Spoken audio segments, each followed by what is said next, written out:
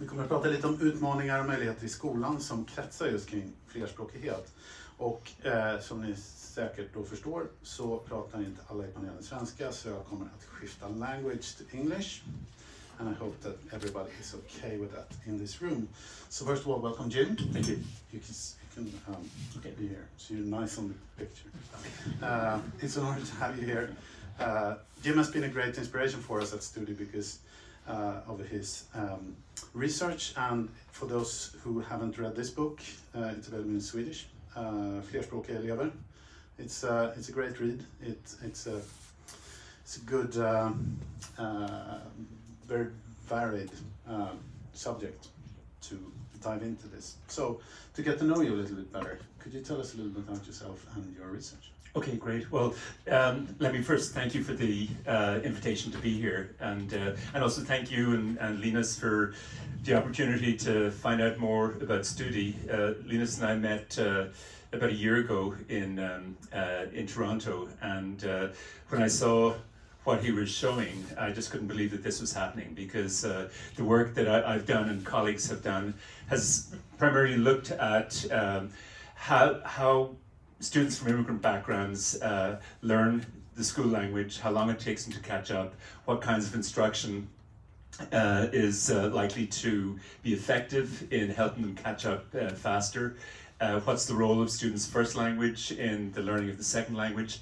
and uh, what has been developed at Studi, I think, addresses all of those questions in, a, in I think a really powerful way or potentially powerful way if it can be implemented effectively uh, in schools. But my personal background uh, is not Canadian. I work in Canada. I've been in Canada for uh, more than 40 years. And uh, uh, some of the phonemes uh, that you find or hear bouncing off the walls originated in Canada, but probably most of them originated in Ireland, where I grew up. I grew up in Dublin. And um, uh, I went to school and university there. I went to Canada to do graduate work. I did a uh, PhD in Edmonton, which is the most northerly of the big Canadian cities. I spent five frozen years of my life there. I experienced for the first time uh, minus 40 degrees and uh, survived. Um, I went back to Ireland for two years, then went back to Canada. So the research that I've done and the, the context that I've worked in uh, have uh, been both North American and European for the uh, for the most part. Um, and so the the the work that I've, I've done and, and what I've written about what's in in uh, uh, this book is um, basically looking at what schools can do to help all students succeed.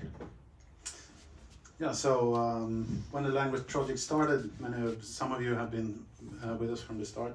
It was a reaction to the crisis in Syria, and uh, it has grown to something else. Anna, you talked about it, uh, about helping uh, all students uh, to have equal opportunities and reach their potential. But this doesn't really seem to work because what we've seen over the last uh, years in Sweden is that the school system has actually become less equal. Uh, the gap is growing between high performing and low performing students. Uh, so despite all these good intentions, obviously this hasn't turned out so well. So what are we doing wrong here in Sweden? Well, I'm not sure what you're doing wrong in, Sweden or what all countries uh, are doing wrong. There are blind spots in every country, but just to, to uh, go back to the point about uh, Studi being uh, suitable for everybody and all students can use it. One of the things that uh, I've been using it for on a on a very kind of uh, part-time uh, basis is to make up for the gaps in my knowledge of science. Because I went to a school in Ireland uh, that was run by a Catholic order called the Jesuits, who have their own very peculiar uh, ideas about education. At the time when I was going to school there in the 50s and 60s, uh, if you were in the top stream or the top class, you didn't have a choice about what you did in, in secondary school in terms of uh, subject, you had to take Latin and you had to take classical Greek. So I had, I think, four years of classical Greek and six years of Latin. I didn't take any science course at all in my um, uh, in my schooling, and that might undermine my credibility uh, here. But uh, uh when I've looked at the Studi um, lessons, um, they have been tremendously helpful for me in filling the multiple gaps that I have in, in terms of, of science.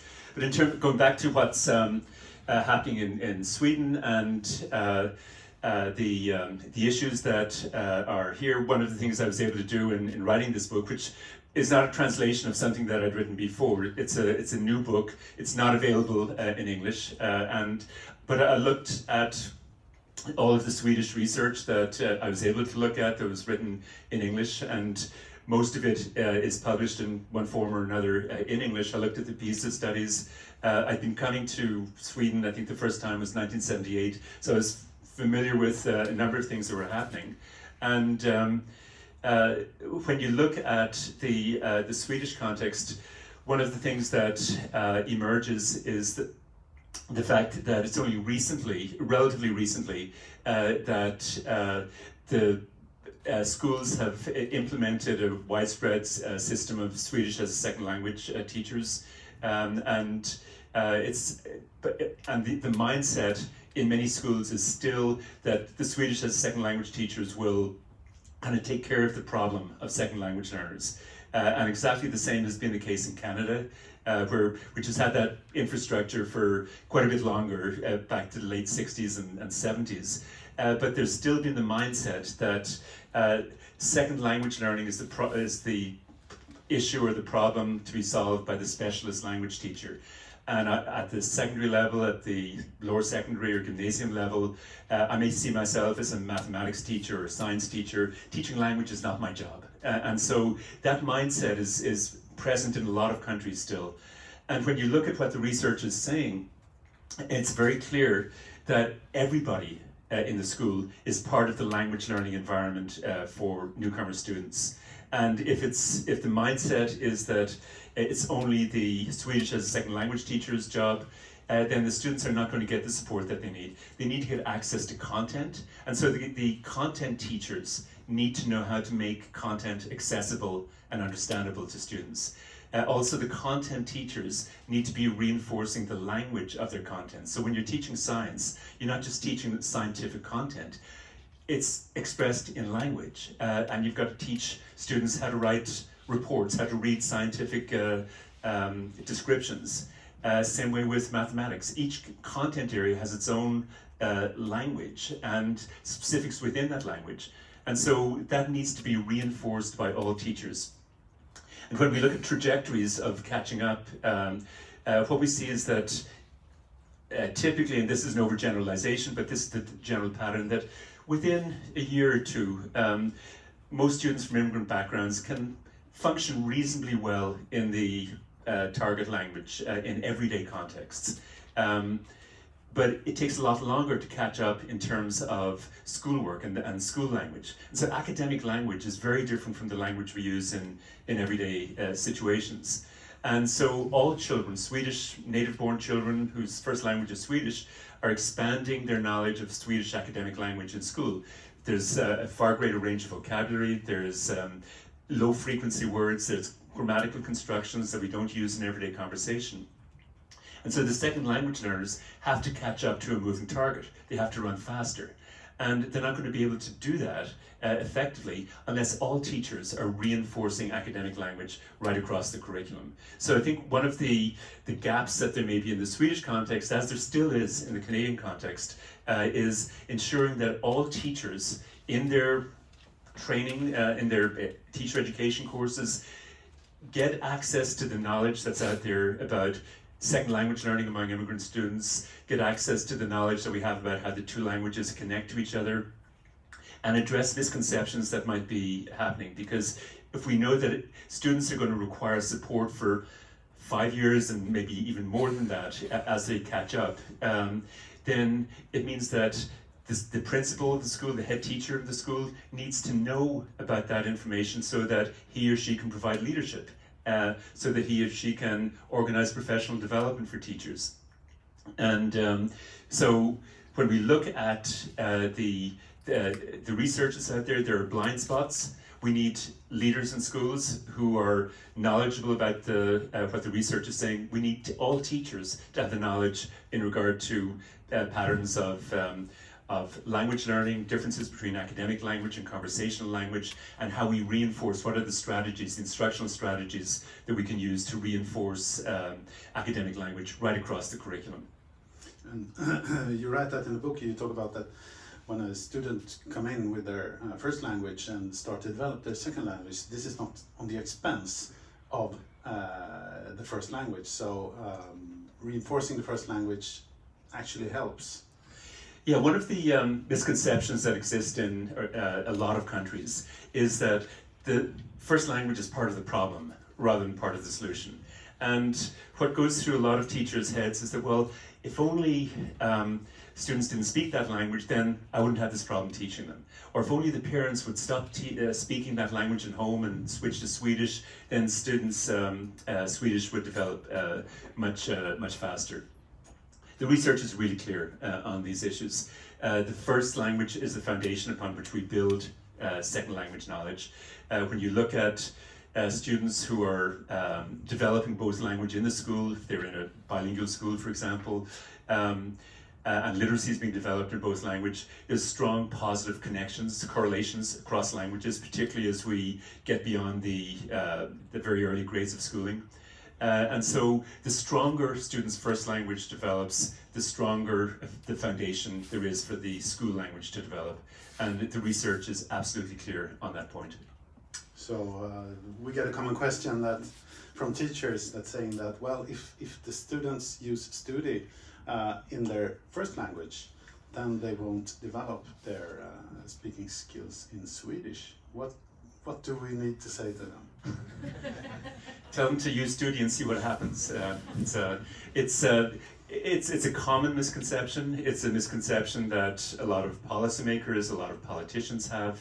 Obviously, immigration is a uh, political issue. It's a controversial issue in many countries, um, and uh, those misconceptions often get, uh, or those attitudes often get rationalized in terms of concerns about language learning. And um, so, for example, in the United States, where there over 40 years has been a lot of controversy about bilingual education programs, mainly for Spanish speakers.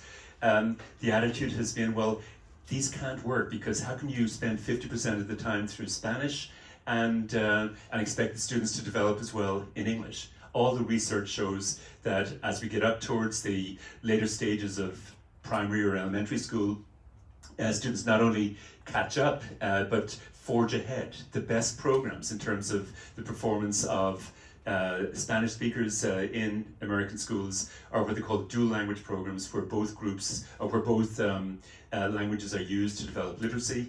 Uh, and often these programs now will have native English speakers as well as native Spanish speakers. And multiple large-scale research studies uh, are showing that uh, students do far better in these programs than they do in English-only programs. so it's the same with um, uh, uh, immigrant children who are in a Swedish language program or an English language program in, uh, in the Canadian context, uh, the better developed students' first language uh, is, the stronger progress they'll make in, in acquiring the school language. And um, if you provide content, provide support for students in their first language, uh, that allows them to learn content uh, at the same time as they're learning the school language, so they don't fall behind. If you don't do that, students are likely to be sitting in the classroom uh, for probably several years, not understanding much of what is going on, particularly if the mainstream classroom teacher does not have any background or has not had the opportunity to acquire instructional strategies that can help uh, support students' learning. And so the content is going over students' heads, uh, so they're not getting a lot of that. They're falling behind in terms of content, but also because they're not understanding the language um, and there's minimal support provided in the regular class for them to learn that language, uh, they're not advancing their academic language either. So if students can get the content in their first language, that gives them concepts uh, to, uh, which makes it much easier to understand content uh, in the second language.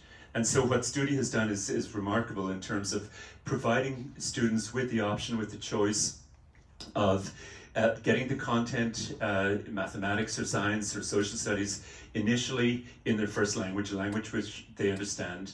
Uh, and then once they have that concept, they can move towards Swedish and see how the, uh, that those ideas are expressed in Swedish. And they're like, because they've got the concept, they're uh, much more likely to understand the language uh, of that um, uh, of the content. And so, when you look at the challenge for immigrant students, uh, initially it's twofold. They don't understand the language and they don't understand the content. And so it's a double whammy, to use a colloquial expression. Um, but if we can provide them with understanding of the content, then that content will make the language much easier to understand. So, for example, if um, uh, if I start talking about baseball, which is not a, a game that's played uh, a lot uh, in Sweden, uh, and I'm using all kinds of terms and talking about strategies and stuff that you don't have any background in. Uh, you probably are not going to get uh, as much of the information as I'm trying to communicate. But if I, um, uh, if you have the background, the background knowledge, then you're going to understand uh, what I say much much greater. And so we can define learning not as as um, just the uh, internalization of input. It's the integration of new information, new skills, new knowledge um, with the content, uh, the concept, skills, and knowledge that we already have. And so that integration is what defines learning. Um, and so when we provide students with the opportunity to get the knowledge, they're going to, in the first language. Then that when they move to the second language, it's going to be much more comprehensible, and they're also going to learn the much more of the second language. So in a shorter way, you could say like that's nonsense. Uh, yeah. Not your words. You said it. yeah. Um, you talk about this conversational language versus academic language, and we can. I mean, obviously, when you read uh, the curriculums, uh, you've been involved in curriculum development programs. We can read in the textbooks.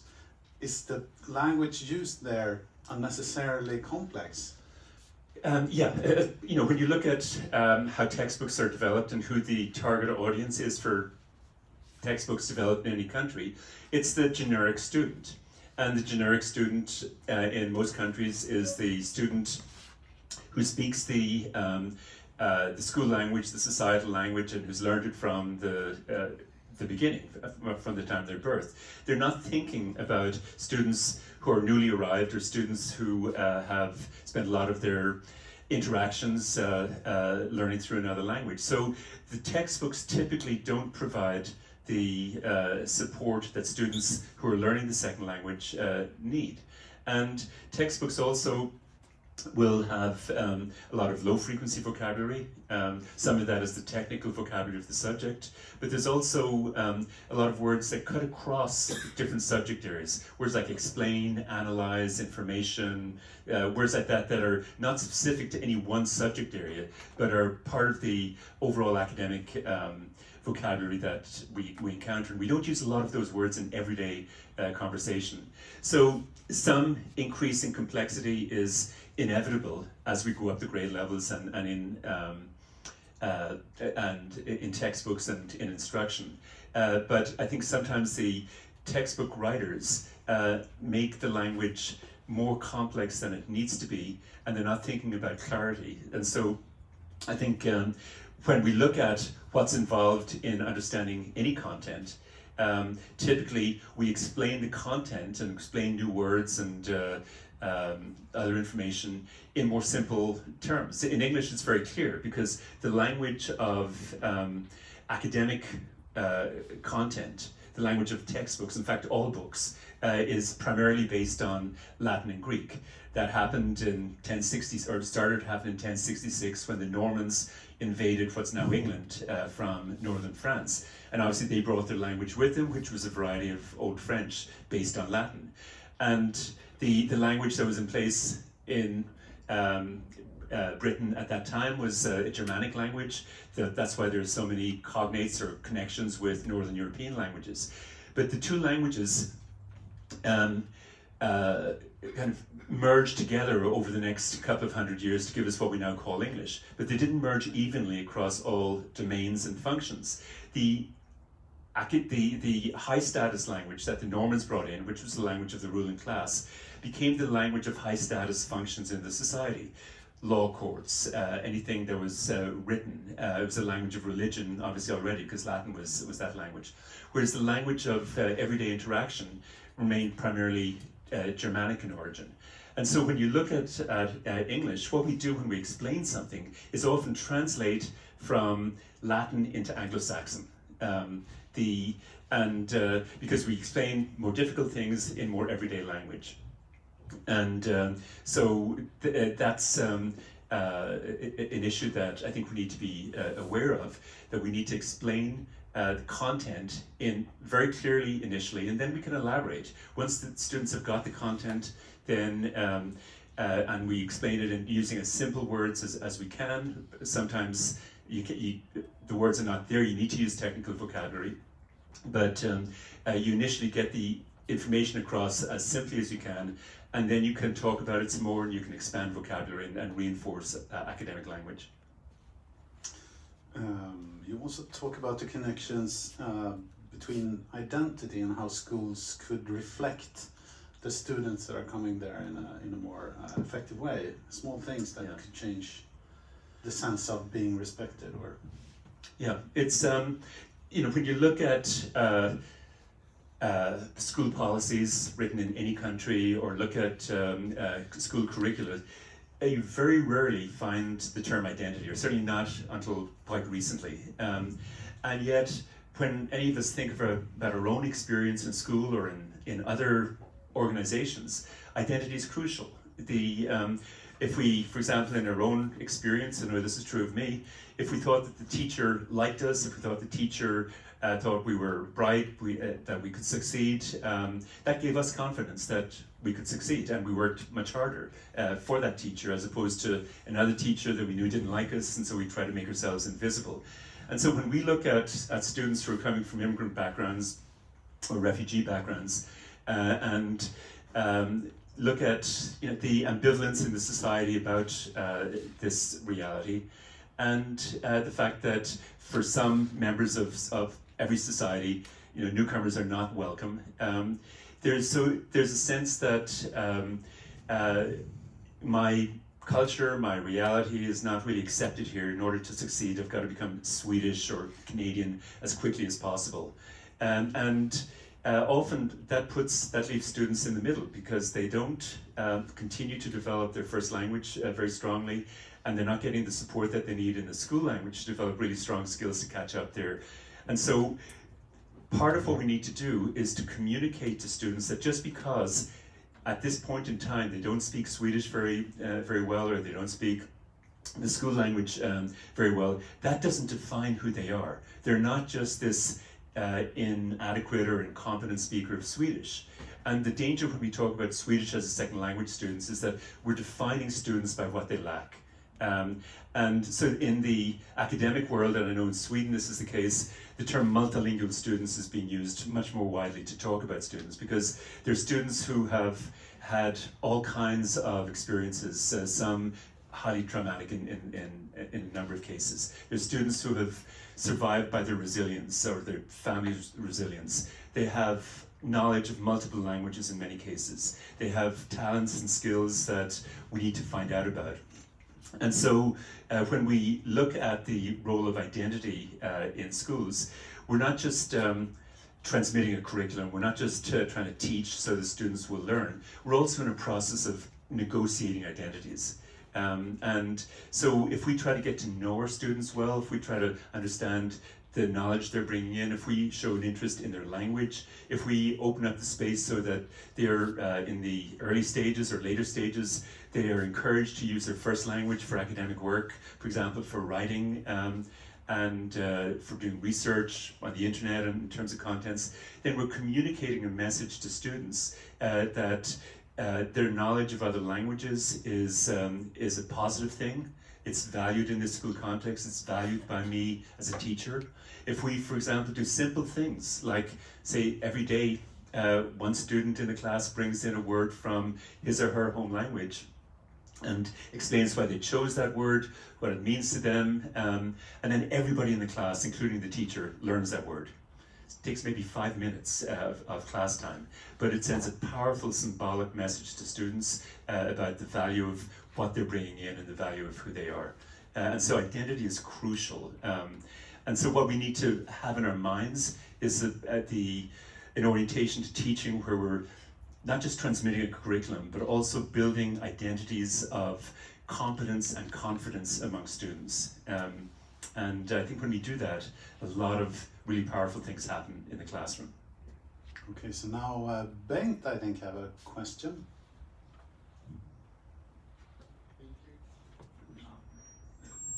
I think you might have answered it already, but uh, sometimes we have a challenge when. Mm, no, then. Uh, sometimes we have a challenge when, when uh, pupils are somewhat weak in their own language, so that you have for instance, people from Afghanistan that have been basically slave laborers in in, in Iran. Uh, and they come over, so they, they are weak in their own language, they're quite weak in, in Farsi as well, and then they come here, they are weak and literate in Swedish. So then they get all three of them. Um, so with, with these techniques, and how will these techniques help them to, well, get, get say, proper pupils?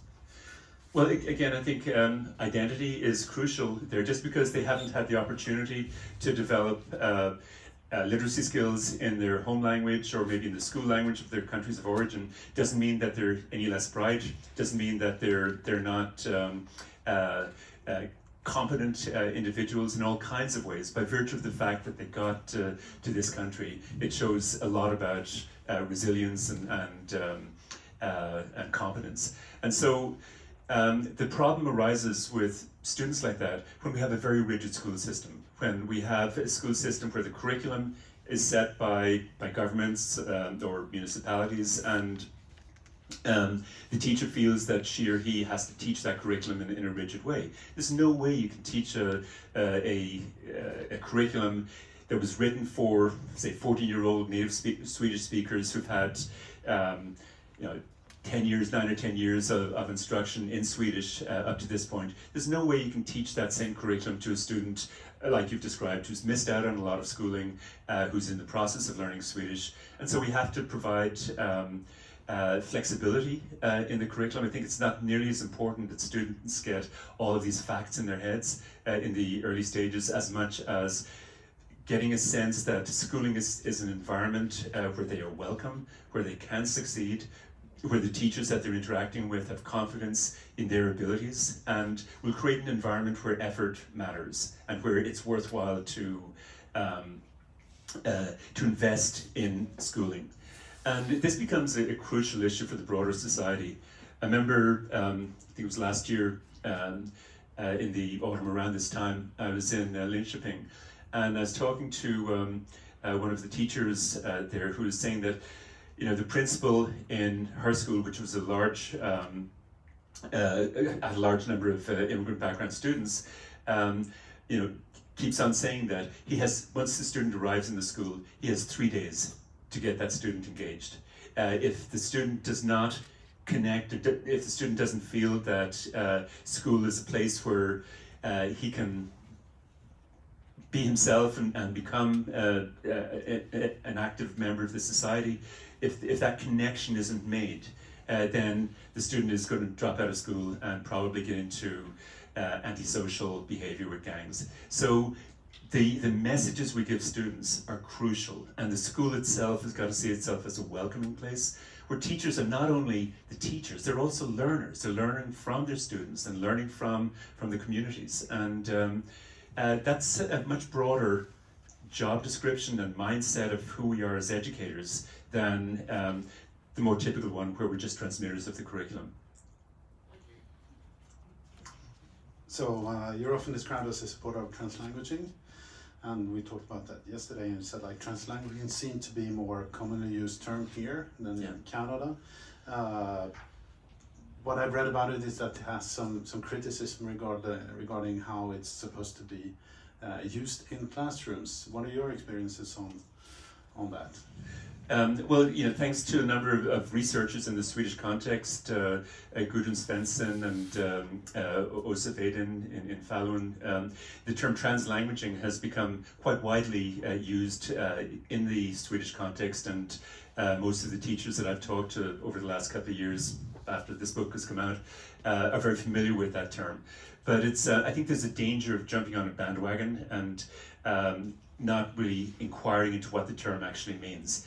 Uh, the term, the basic meaning of the, of the term when we talk about it in an instructional way, is that we're opening up the space so that uh, students' first language, uh, first languages can be used for learning purposes, uh, and students can become more aware of how language works um, uh, in general terms.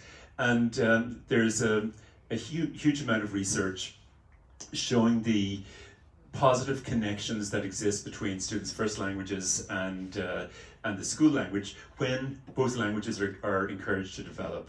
Um, so students have the opportunity or if they've already developed literacy in their first language, uh, then that's a foundation upon which we can build uh, Swedish uh, skills. And so if you, let me give you a concrete example from one of the, or several of the projects that uh, I've been involved in. Um, this is a, a, a, school that has a large number of students from um, diverse backgrounds, many of them from Pakistan. And the teacher was teaching in a grade seven classroom, so to 13 year olds. And all of the students in the class were uh, from uh, uh, immigrant uh, backgrounds. Some of them had been in Canada for about four years, five years, others had just arrived. But the teacher was uh, familiar with uh, English as a second language strategies. And so they were doing a unit in social studies on immigration. And the um, it, it's typical in Canadian schools that at the end of a unit, students will do what they call a culminating activity or, or a project focusing on, on some of the things that they worked in uh, on the unit. And these three students from Pakistan um, asked the teacher if they could write a story uh, intended for younger children from the same background uh, about their own immigration experiences coming from rural Pakistan to high rise uh, Toronto.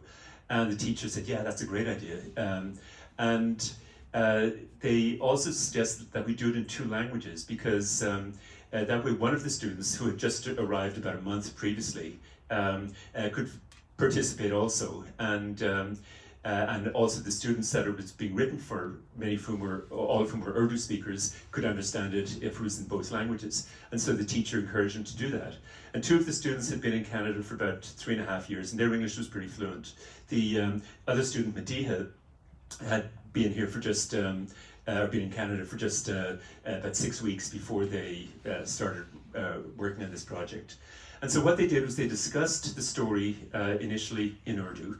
Um, uh, Madi was a full participant uh, in that because that was she was that was her language, um, and um, they invented a composite character called Sonia, and they, in terms of Sonia's story, they injected experiences that all three of them had had. They discussed what was going to be on each page in terms of text, in terms of illustrations, uh, and they. Um, and then they wrote, after planning it in Urdu, they wrote the first draft in English, and then discussed that with the teacher, and she provided some feedback to them. And then when they'd finalized the English version, they went back uh, to Urdu and translated from that, that back, from English back into Urdu. And when you look at some of the videos we have, you hear the students talking about um, about language itself. You know, how do you say that uh, in Urdu? No, that's not the right word. Um, uh, I've forgotten the word for that. I'll have to go, go home and ask my mom uh, how you say that uh, in Urdu. So that kind of uh, awareness of language and talking about language and bringing the two languages together was going on. Um, and if you think about Madiha, the student who had just arrived, and think about what she would have been able to do uh, in a uh, in a typical Canadian classroom, that would be all in English. Um, you might get two or three painful sentences out of her uh, in, a, in a writing project. Instead, she becomes a very proud author of a 20 page book that's beautifully written in two languages, beautifully illustrated, that's been read by thousands of people because it's up in the web. Um, and you've got a transformation, not just in terms of learning, but in terms of identity. Suddenly, she moves from an identity of being the ESL student, English as a second language student, who doesn't speak much English and who can't show her competence in that language, to being somebody who can hold this book up and say, I wrote this. And so you've got uh, a huge amount of learning happening. If you were to give the story that she and her two friends wrote to Madiha before she had written it, give, give her the English version, she would not have been able to read it. But after she had written it, she could read it. So it's it's um, it sounds paradoxical, but it, it, it's an example of what some people call called performance precedes competence. And so that couldn't be done if we said, no, this is an English only zone. Uh, if you use your first language, that's going to hurt English. Exactly the opposite is the case, and we've seen that happen over and over again in many projects that have gone on in the Canadian context and that are happening in Sweden also. Wonderful story. um, so how can multimodality tools, because that is also kind of a way of yeah. expressing your work in, in different ways. Uh, how can multimodality learning tools like Studi or, or uh, others support students in developing their academic language? Well, basically, when we look at uh, what's required to support students in in engaging in schooling and, and uh, getting on the uh, right or accelerated trajectory in terms of uh, their academic language, there's several things that need to happen. First, one of them is what um, people in this area call scaffolding. Um, if you think about a scaffold for a building, it's what the um, workers will climb up on to get up to the roof and uh, do work that's high up. So scaffolding enables us to go further, to get, to get higher, to do things that we wouldn't be able to do without the supports. And so there's a whole range of instructional strategies that you could think of as the Swedish as a second language toolkit or the English as a second language toolkit that uh, enable students to understand content that they wouldn't have been able to understand before. So use of visuals is uh, uh, one primary thing. Graphic organizers, uh, Venn diagrams, timelines, all of those things help us to get the meaning with less reliance on the language. But also students' first language is a, can be a major tool in terms of enabling them to get access to the content. And what Studi has done, I think brilliantly, is to uh, allow students to choose which language that they will, will use to get content initially in their first language that's supported by animations, supported by clear language, so it's not highly complex uh, language like a lot of textbooks are. And so they get the content, uh, and then once they have the content, it's much easier to understand that content in a second language. Um, and so scaffolding is one thing that's very evident in, in Studi. Uh, connecting to students' lives uh, is, and so the curriculum is not just being transmitted in a one size fits all, but we're tapping into students' prior knowledge. We're helping them to integrate the new information and concepts with what they already know. Uh, that's a, another crucial uh, element. Affirming identities is a crucial element. And when you look at uh, how Studi might link in with that, you've got a situation where the fact that students' first languages are represented in this tool.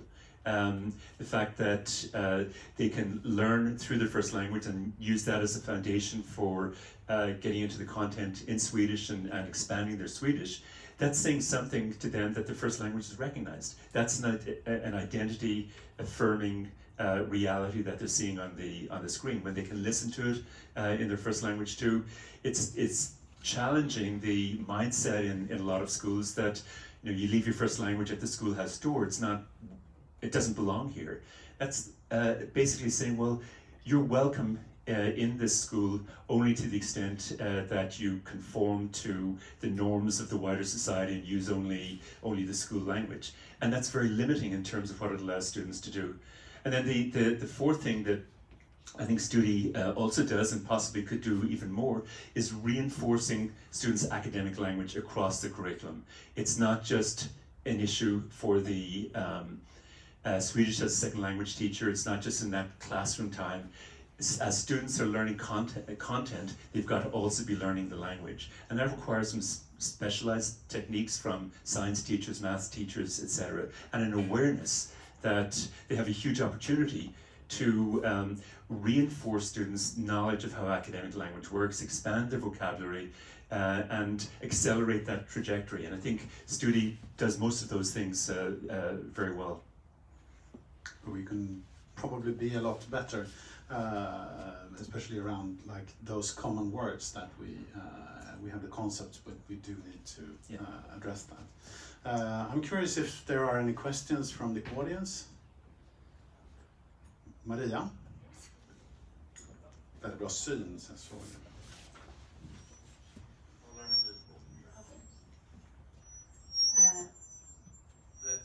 Oh.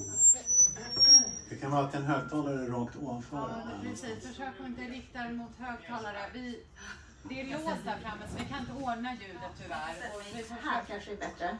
Det är ja. bättre. Tack. Uh, firstly, I want to say that I really love your research. And I basically uh, based my own research on your results and uh, on your tradition. I hope it worked. yes, and uh, uh, I also agree with uh, the prevalent research on the importance of continued development of the students L1, and but Uh, now I'm uh, leading a project on new arri- arrivals in Sweden, and uh, the teacher I meet teachers teachers every day, and we have a quite uh, big challenge, I would say, because um, uh, um, how do you, how do you do that in practice? In the classroom when you have in Sweden you can have 16 uh, different uh, L1s and uh, how do you actually uh, manage to plan classroom activities uh, when you also uh, involve uh, the students uh, L1s and uh, uh, yeah, uh, do you have a solution? It's going to cost you. Yes. Yeah. Must film I this. will pay. Um, but, uh, clearly, there are major challenges when we have this kind of situation, particularly if you add to the fact that uh, students may have missed out on, on schooling. Um, uh, some students may have experienced really traumatic uh, uh, events uh, in their lives. So the challenge is, is immense in, in many contexts, and it's not surprising that teachers may feel overwhelmed. Um, I go back to what I said earlier on. Uh, we need to inject flexibility into the, the structure of the school system. It's totally unrealistic to expect a teacher teaching a diverse class uh, like the one you described uh, in the same way as a teacher teaches a, a homogenous class full of Swedish native speakers. That means modifying the curriculum. Uh, that means um, uh, uh, using tools that are going to be effective. And one of the problems with traditional textbooks is that they're static. Um, there's no accommodation to diversity in there. There's no kind of glossaries on the side in multiple languages. When you move to an, elect- an, ele- an electronic environment, uh, the possibilities and the affordances of that environment uh, open up dramatically.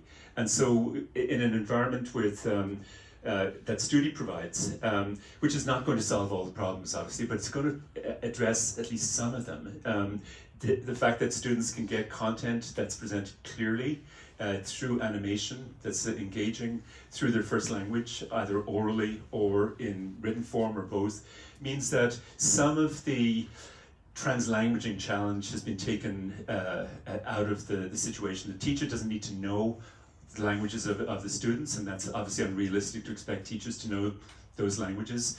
Uh, but Studi provides a um, a foundation um, that al- allows students to keep up with content um, so that they're not falling behind uh, as they're learning uh, uh, Swedish.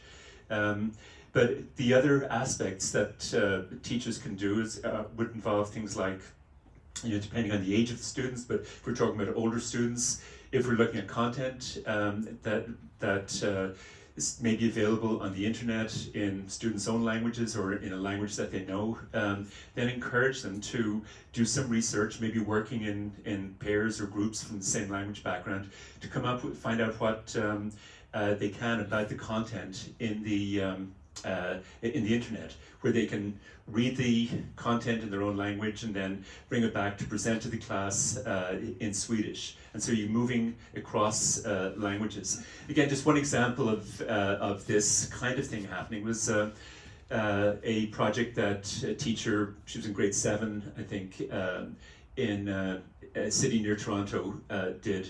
Where it was back in 2008 and it was the American election where uh, Obama was running for the first time.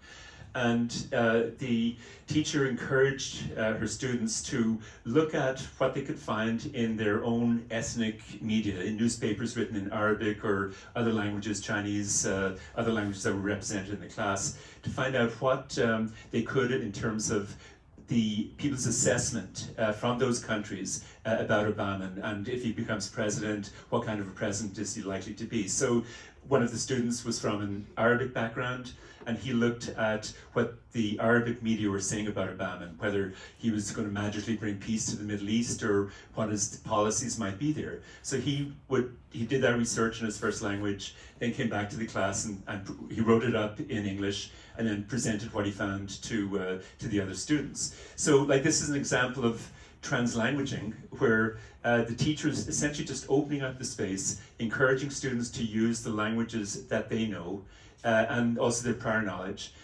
They can also talk to their parents about uh, these issues. And so there's once teachers start brainstorming about possibilities, all kinds of, of things will bubble to the surface. Um, if we're looking at younger uh, students, uh, writing dual language books is something that uh, is becoming relatively common in, in quite a few Canadian schools because there are examples of, of how powerful this can be.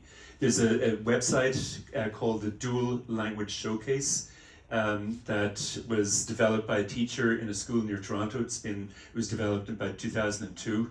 And there's about 120 stories in different languages in English and other languages uh, that students have written there. There's about 32 different languages involved. And these are, students as young as grade one uh, who are involved in this project. And uh, so parents get involved in something like this. Um, and so if you, if you look at uh, examples that are happening and in, in the books that I mentioned that have been published in Sweden, there's all kinds of examples of, um, uh, of really powerful pedagogies happening with students in, uh, who are coming from diverse backgrounds. And so if we, if we talk about the issues, if we talk about possibilities, if we inject some flexibility into our curriculum and instruction, then I think um, uh, teachers won't feel nearly as, as overwhelmed as they sometimes do. Again, the challenges are not going to go away, uh, but they may be uh, lessened to some extent, and students may gain greater confidence uh, that they can succeed and that effort will make a difference. Thank you. Uh, are there any other questions floating around?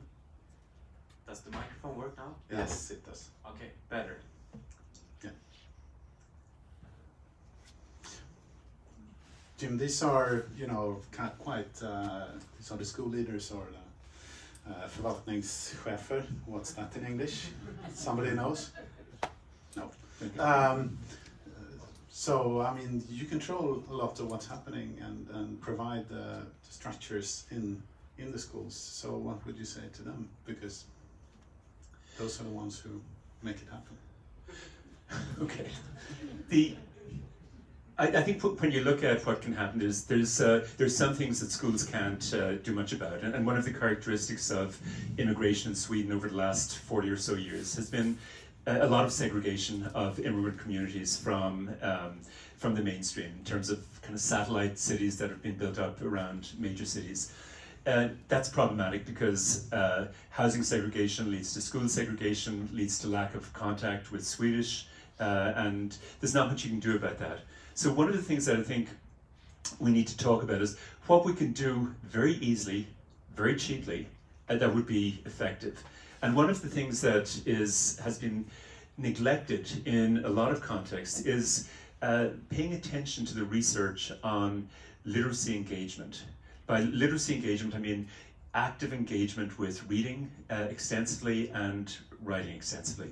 There's a huge amount of research from the ranging from uh, hundreds of thousands of students in the OECD's PISA studies, the Program for International Student Achievement, to many, many other studies showing that uh, probably the most powerful predictor of how well students are going to learn to read uh, is the extent to which they get actively engaged with literacy from a very early stage. It's a more powerful predictor than soci socioeconomic status in itself. And so when we look at the fact that many of our immigrant communities are also living in socially disadvantaged uh, contexts, um, and students living in, in socially disadvantaged contexts, uh, often their parents don't have the money to buy books, they don't have money to buy iPads, they don't have money to bring their kids to museums. Um, and so there's the research has shown very clearly that in lower socioeconomic uh, background communities, there's much less access to print uh, in students' homes, in the United States context, in their neighborhoods, and also in the schools that uh, students often go to. The school libraries are much well less well stocked with books than schools in, in richer communities. And so if we wanted to make a, I think, a big difference in terms of achievement of, of uh, students, talk about within the school how we can increase students' access to books uh, at the preschool level, make sure students are uh, exposed to books, uh, talking about books, listening to stories being read, dramatizing stories. Because students from socially disadvantaged backgrounds are starting off with a five year gap compared to middle class kids. Uh, if, if any of us think about our own kids and how Uh, we read to them uh, on a regular basis. We bought them books for um, uh, birthdays. They were surrounded by books. Older siblings read books to younger siblings. A lot of that isn't happening in, in the homes of uh, kids from lower socioeconomic backgrounds. And so they come to school without that literacy engagement uh, uh, uh, already. And then the schools, if the schools don't immerse students uh, in a powerful, literacy rich environment from the very beginning, uh, they're not going to succeed nearly as well. And just one statistic that I think is really telling, again, comes from the OECD. They found in one of the reports that they wrote um, uh, on engagement, they found that there was about a one third overlap between the negative effects of low socioeconomic status and the positive effects of reading engagement. This is on you know, the achievement of 15 year olds. Um, what this means is that we could potentially push back about one third of the negative effects of social disadvantage if we were to get kids from low, lower socioeconomic backgrounds actively engaged with reading from a, very early stage. So there's a causal connection there. And reading in the first language is equally important to reading in Swedish. So encouraging parents to get library cards, to get uh, books in multilingual books from public library in our schools, seeing if we can build up a multilingual collection also, because reading is reading, and uh, uh, the more stu- uh, students can get access to books in Swedish as well as their home languages, the better they're going to do. And Thank that, you. That, doesn't cost a lot of money. Thank you, Jim. Our uh, 56 minutes is over. Uh, for those of you who are interested uh, at uh, Jag kan byta, sorry I'll change to Swedish just for a second. Uh, halv uh, sex är det väl? Ja, precis. Uh, halv sex är det på Franska skolan, då kommer Jimmy att göra en föreläsning eller en variation av en föreläsning som hölls på Pedagog Malmö i början av veckan. Uh, tittar på dig, det är konstigt. Eh, så kom gärna dit. Eh, jätteroligt eh, att det är ett sånt stort intresse. You will uh, also get uh, Some Some goodies. licorice. Swedish goodies. Thank you Thank very you. much. Thanks very much. thank you. Thank you. Thanks. Thank you.